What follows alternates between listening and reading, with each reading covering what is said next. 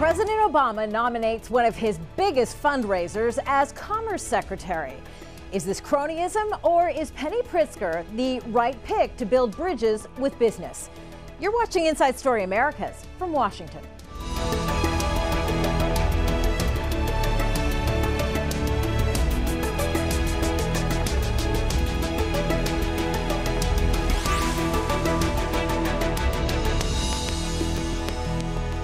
Hello, I'm Kimberly Halkett. She has a net worth of $1.85 billion and is the 277th richest person in the United States. Just some of the reasons President Obama believes Penny Pritzker will have credibility when she deals with business leaders. But many progressives are uncomfortable with her appointment. Pritzker is a big figure in the Chicago business community and has raised millions of dollars for the president going back to his Senate campaign in 2004. She is a director of Hyatt Hotels, the chain founded by her father, which has been in a lengthy struggle with unions over working conditions. She was also on the board of Chicago's Superior Bank, which collapsed in 2001 after trading in subprime mortgages. And Republican senators have promised to ask some very difficult questions about Pritzker's alleged use of offshore tax havens at her nomination hearing. But President Obama appeared to be unconcerned about her track record when he announced her nomination last week. Penny is one of our country's most distinguished business leaders. She's got more than 25 years of management experience in industries including real estate, finance, and hospitality.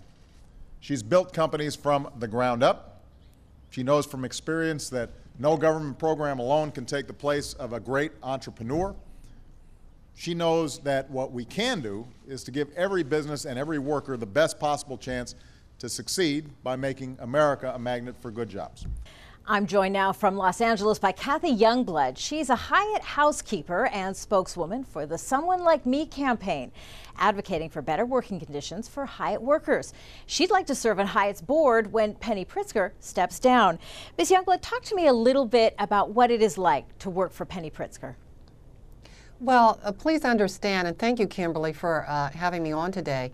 Uh, I want the listening public to understand that uh, I have never really met Mrs. Pritzker or any of the members of the board of directors. I'm hoping to do so. Uh, I am a Hyatt housekeeper and I'm employed at the Hyatt Andaz in West Hollywood, California. I've been there almost three years now.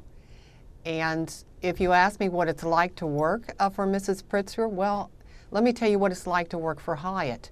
First of all, I enjoy working for Hyatt, but uh, when I was in, uh, first employed, uh, there were many problems that I noticed, and I know that Hyatt can do a better job. It can be a better company if they would listen to someone like me. Now, this Someone Like Me campaign is where we are calling on Hyatt, my coworkers and I, to add a 13th seat to the board of directors. And as you know already, uh, Mrs. Pritzker has been, uh, her name has been placed in nomination to serve under President Obama as Secretary of Commerce. But long before uh, this present uh, um, nomination, uh, we had called on Hyatt to add that 13th member. There are a well, lot of let problems me jump in here for a second Hyatt. because I want to try and understand why it is that you think it's so important to have an employee on that board. What is it about working conditions right now? I mean, is it just you that has an issue with working conditions, or are there other employees that feel the same way? Oh no, it's not just me. It's it's a lot of Hyatt employees, and I've been crisscrossing the country talking to Hyatt employees uh, in the different uh, respective hotels around the country. We have things like we need proper tools and equipment, uh, such as fitted sheets, lighter vacuum cleaners, adjustable tools. Um, we do need for management to listen when we suggest a better way of doing things. We are the ones that work in the hotel we are the front line, we are the first responders. And I don't think any member of the board has worked in a hotel. So if they would just sit down and listen to someone like me, I think they could learn a lot. Of course, I could learn a lot from them, but also if you were a business person, wouldn't you want to know what's going on in the hotel? Wouldn't are these just sort of employee grievances, though, or are there actual legitimate safety concerns at play? Oh yes, there are many safety concerns. Uh, now the life, the, the job of a housekeeper is very fast paced. And being fast paced, uh, you open yourself up to numerous bruises daily. because of the fast-paced work um, and the proper tools that we still need, uh, we do things that daily, perhaps people who don't work in a hotel, it, this is not like cleaning a bedroom in your house. It's not like cleaning a house. You have a number of rooms you're assigned each day. You have to turn over those rooms fast, especially if it's 100% occupancy at the hotels. So it is a very hard job and it's very hard to explain to the public out there who have never done hotel housekeeping. So do you but think it is that one of the hardest Hyatt jobs I've had in my life. Do you think that Hyatt management and Ms. Pritzker's family is taking the concern seriously?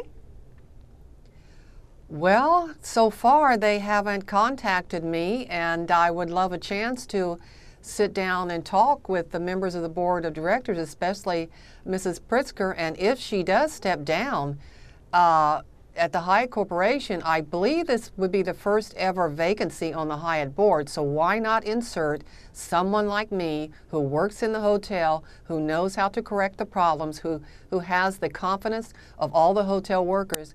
I could share with them, we could discuss things, and I think it would be a better company. But Hyatt really needs to go in a, a different direction right now, right now. Well, for more on the story, I'm joined from Chicago by Rick Perlstein. He's a journalist and historian and the author of Nixonland. In our studio, we've got not just one, but two White House correspondents. Reid Epstein from Politico and Hans Nichols from Bloomberg.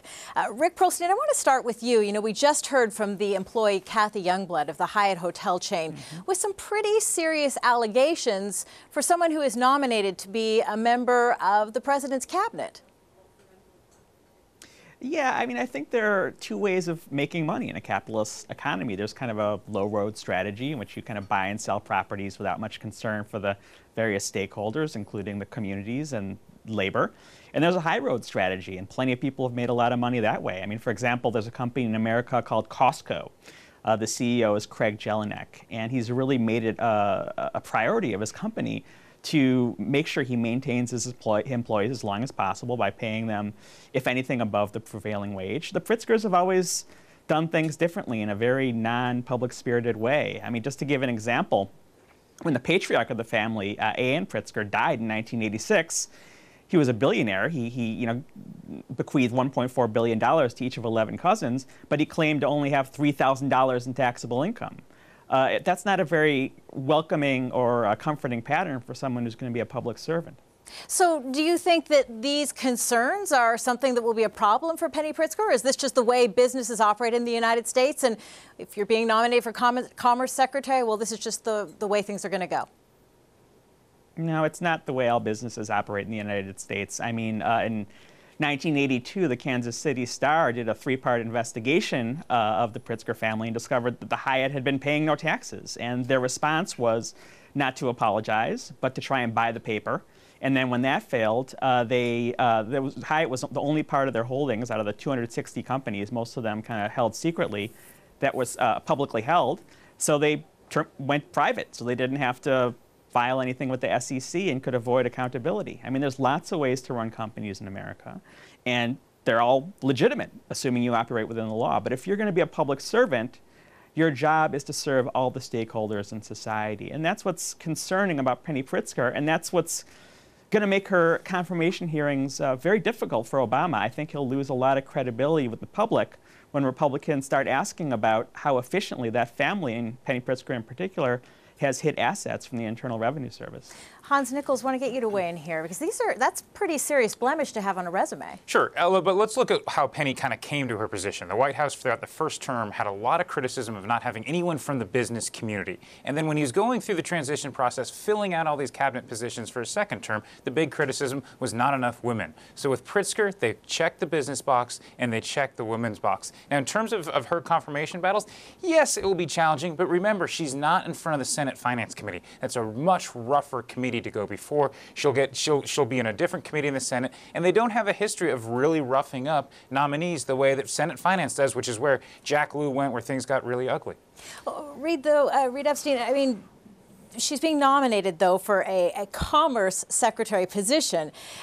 Is this the best candidate if you're looking for someone who sort of will reflect the needs of the business community? Well, I mean, she is someone who knows the business community. She's uh, been a pillar of, of the business community in Chicago. But the other thing to remember is that Republicans uh, aren't about to beat her up for union practices of the Hyatt hotel chain. Uh, you know, the Republicans in the Senate generally uh, have taken a fairly anti-union stance in the past. If anyone is going to beat her up on that, it would be liberal Democrats who aren't inclined to uh, attack one of President Obama's nominees.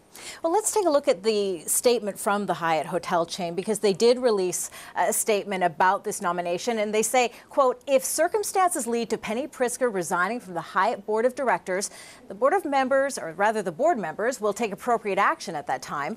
Penny Pritzker has a long and distinguished career in business and public service, and Hyatt has benefited from her insights and contributions as a board member. So, uh, Rick Perlstein, maybe I want to ask you then, is this what President Obama Obama is looking at, sort of her, her record of service, not, you know, in the business community and sort of these issues that are arising from management at the Hyatt hotel chain. Well, hopefully nobody's going to really make a big deal out of that. Well, I mean, he's trying to look beyond that. I mean, the fact of the matter is she was um, his finance chair in 2008. She brought in big players like Warren Buffett. And uh, all the while, the reason she wasn't able to be uh, Commerce Secretary in 2008 when her name was floated was because it literally took years and years uh, to kind of disentangle herself from all the financial owning uh, holdings that her family has. Uh, the New York Times once reported that uh, the Pritzker family owns so many companies that none of the members of the family can even remember what companies they own.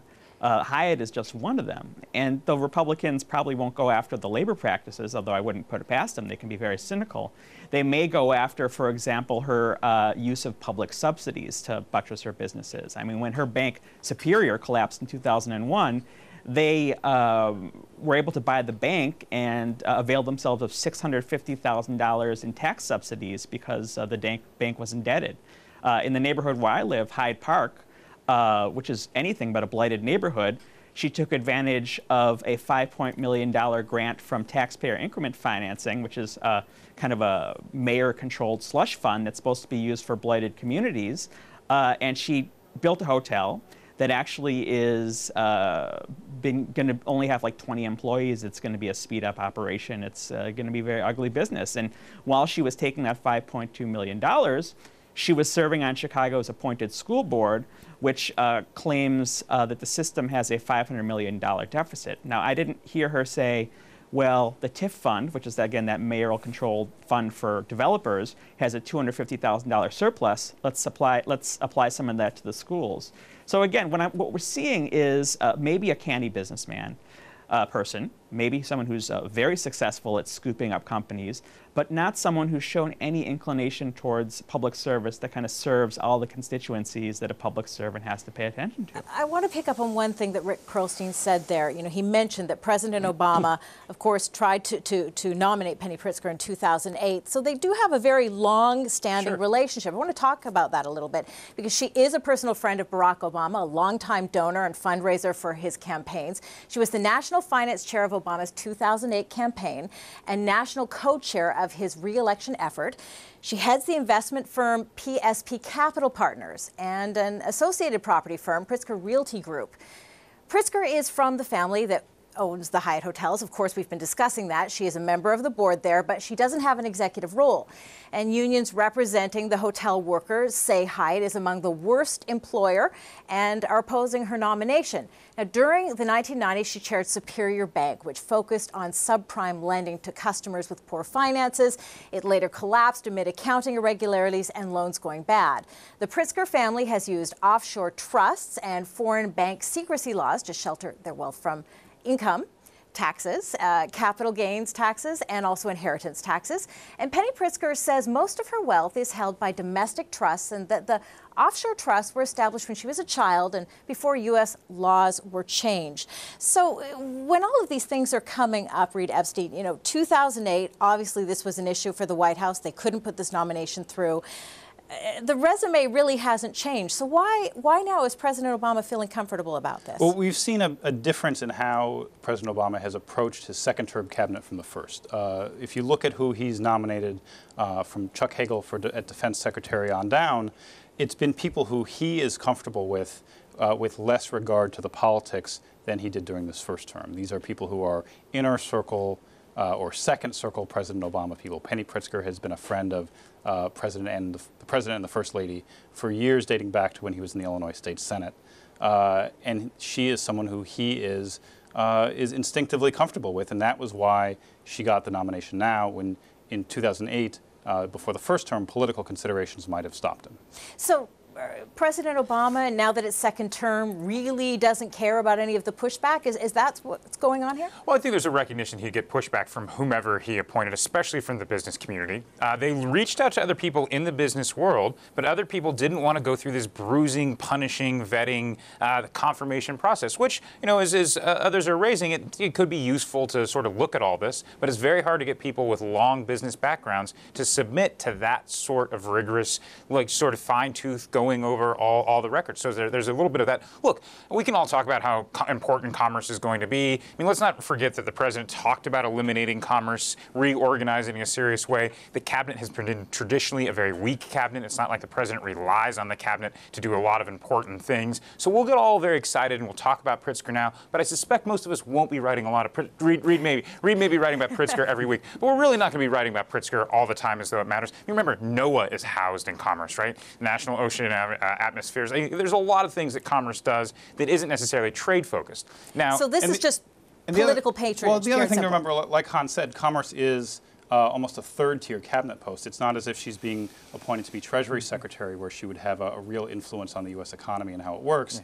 Yeah. Uh, it, Commerce Secretary is, is more of a cheerleader, and it's been traditionally a place where U.S. presidents have, have rewarded their major fundraisers with a cabinet appointment. Well, you brought up these confirmation hearings. Uh, you know, Senator Charles Grassley has already said he's, he's issued a press release saying, look, I'm going to go after these yeah. these alleged offshore tax uh, sites and, and really push on that. I mean, how much of a problem is this going to be? Do you think this could hold up the nomination? It will, it will be slight, but like Grassley's, you know, the ranking member on finance, right? And this, the, commerce goes to what committee? It goes to banking, right? It goes to banking. So, so Grassley, he, he may have some sway there, but Grassley's hinting that he's going to make an issue about this when it goes to the floor. Once uh, candidates, nominees get reported out of committee, they usually sail through and then they get through. I mean, the really tough punches that we've seen, at least with the Obama uh, team, has been in the committee. Once you're out of committee, you're kind of in the clear. Well, uh, Rick Perlstein, I want to bring you back in here. I mean, there's mm-hmm. been a lot of criticism about, you know, from business leaders who really were not happy with President Obama in the first term, said, you know, they really, the Obama administration mm-hmm. vilified Wall Street in its first term. Is this the kind of appointment that's going to mend that relationship? Or sorry, not appointment, nomination. No, that's yeah, that's not that's not really how things work. I mean, a lot of that criticism was quite bad faith and petulant. I mean, this is a guy I think really who's bent over uh, uh, backwards to be fair to business, which just goes to show you that uh, we're almost talking about a, a, a, tribal situation more than one that's kind of based on rational kind of uh, illumination of someone's record. They're going to look at Barack Obama uh, and say, well, if he's appointing someone from business, that's just you know sort of uh, a shield or a cover-up of his real anti-business agenda. I mean, these are folks who are used to getting their way, and uh, in fact, there was a funny story about. Um, Penny Pritzker a couple of years ago in uh, the New York Times that she was frustrated that Obama wasn't being nice enough to her and hadn't invited him her on his uh, executive jet. So that's the kind of petulance we're talking about, even from Penny Pritzker. Yeah, but, but so I'm in, not really sure we're going to. Uh, in defense, in defense, it's a very nice executive jet. I mean, Air Force One is just not your standard executive jet. It's a nice one, but. I, I have to admit, you know, though the I've viewer, never been on one, so I wouldn't know. I wouldn't know either, but uh, you know, it does appear for people who may not understand the inner workings, and I could be one of them, uh, that there does seem to be sort of conflict of interest here. I mean, you say this is is a, mm-hmm. po- a, a posting where you know it's really just a cheerleading role. It's a third third tier type position, but at the same time, you're overseeing yeah. policy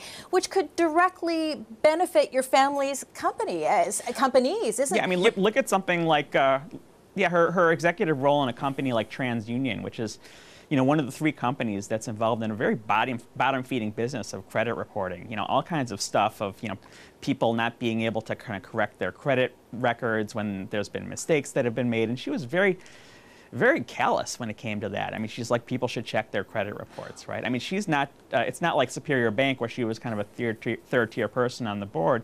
She's had a big role in TransUnion and was even, uh, it was even talked about that she was kind of working on bringing that company public. So she's going to go before the banking uh, committee, the banking committee should be asking her questions about that. So just as, as, as Penny Pritzker will sign a lot of waivers, so she won't have uh, ability to, to sort of weigh in on TransUnion. There are waivers on that. I have a similar waiver with TransUnion just because my credit score for them was so low. I probably shouldn't be talking about them on, on television. Uh, Reid Epstein, I guess though I'm wondering, you know, when you're you're looking at, at a position and you've got this sort of, I mean, appearances matter. I mean, it's politics. Appear, that's that's what politics is. Appearances. Uh, isn't this a concern when you're the, the, Obama administration? You portray yourself as, as you know being on the side of Main Street, and then you've got the side of Wall Street, and it seems very tilted with this nomination. Or am I reading this wrong? Well, there's I mean a lot of instances where President Obama sort of says one thing and does another. Uh, you know, if you look at just Guantanamo.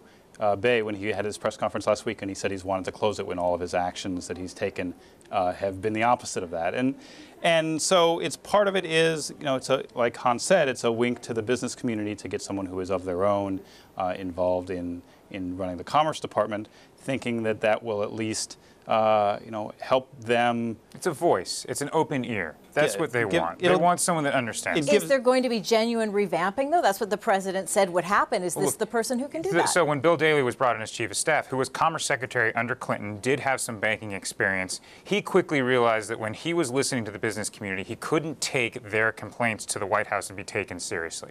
So yes, she may have uh, the outreach to the business community may work with putting Pritzker in at Commerce, but it'll be short-lived because in some ways they're coming at this at different angles. And some of the things Rick was talking about, just sort of the complaints from the business community, called them petulant. I don't know if I go that far, but they certainly work the refs, right? I mean, what did Obama do that was so terribly mm-hmm. uh, disastrous for the business community? He called them fat cats. I mean, that's rhetorical. You know, now on, on the policy side of things, was the president really that anti-business? I think when you talk to liberal Democrats on that, they don't they don't necessarily agree. So, so who is the president trying to please with this nomination, uh, Reid Epstein? Well, he's certainly trying. To, you know, this is someone who is friends with his family, friends with Valerie Jarrett, one of his chief advisors, uh, who had been pushing for her, uh, and so it's you know, and he's trying to please himself. You know, he's he's nominating someone who he knows, who he's friends with. This isn't someone. This isn't the case of senators coming to him saying, "We think you should nominate Penny Pritzker." This is someone who the president has clearly had in mind for a cabinet post going back to the, before his first term began. So, Rick Perlstein, I mean, how does this overall mm -hmm. make the president look with this nomination? Or does it make him look bad? Does he even care if it does? You know, I think it does make him look bad. There's a big a, a, debate ever since you know he became a public figure. Who is this guy? Who is Barack Obama? What does he believe in? And a lot of his progressive supporters have said, well, he really is a liberal, but he's got to kind of trim his sails because he's got to get reelected. Well, now he's been reelected, and what my colleagues on the panel have said is, well, now he's really showing his true colors. He's showing who he's comfortable with. So there's two things that that affects. One is his legacy. Is he going to want to be seen as a guy who, you know, in, a, in, in, in, the biggest economic crisis and the biggest crisis for the middle class was someone who sided with the fat cats? And then there's the more near-term consideration where he has these very tough legislative fights on immigration reform if he wants to get a cap and trade bill through. And he's going to need the support of the progressive infrastructure. And how are these people going to be willing to go to bat for them if they feel like he's thumbing their nose in their faces?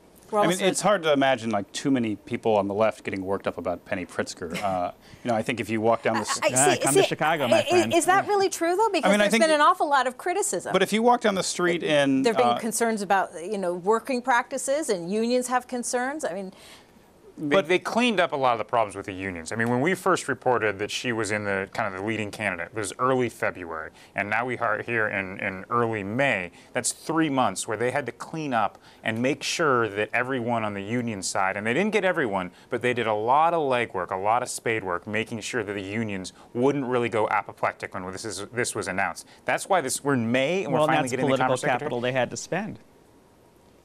I mean, that's political capital they had to spend that they might not have in their uh, quiver when they go to the, back to the unions for another fight, say on immigration.